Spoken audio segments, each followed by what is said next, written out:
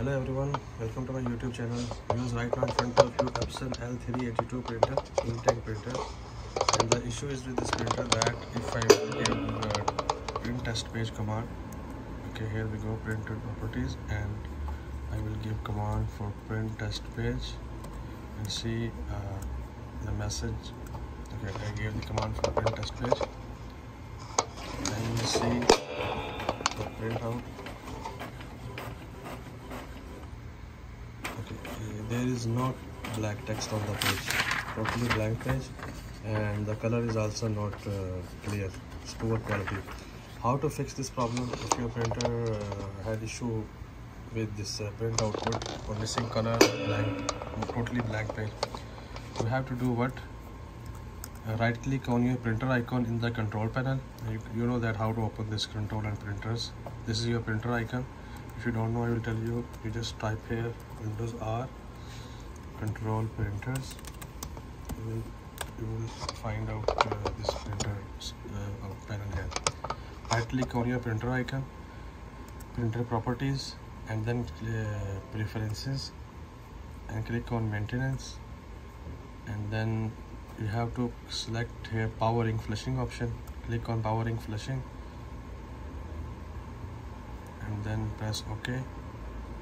And uh, it's showing the message here are you sure you want to continue this function to place all of ink tanks tubes need to be consumed? Uh, it's saying that it will consume a lot of things so make sure that your ink tanks are full before you start.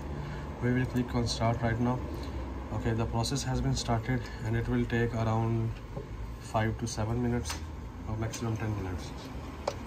And meanwhile you can hear the voices in the printer also. The power light of this printer is flashing we have to wait till this light becomes stable and we will print again to make sure that uh, the print quality is uh, fixed or not.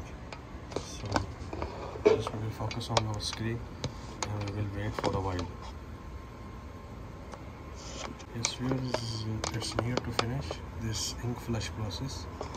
Okay power ink flushing is completed. We will press on finish then we press ok. And you can see power light also it's stable now not blinking so now what to do uh, just we will click on print test page again to check the print quality.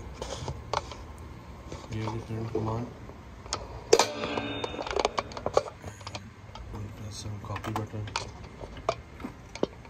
Make sure print quality is fixed or not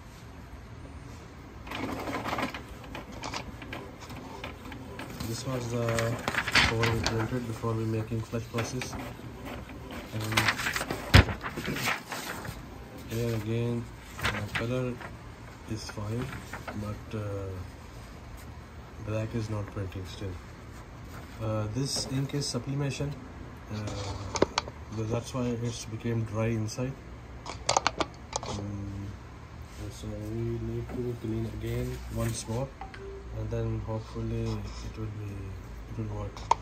Uh, but uh, uh, if your if your ink is not sublimation so hopefully with the one first step when we make ink flush process the quality will be improved.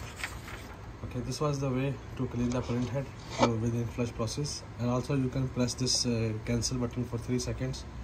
It will start the process automatically without being connected to the computer. Hope you understand the method guys. If you have any question regarding this uh, Epson L382 printer you can ask me in the comments. Thank you for watching. Take care. Bye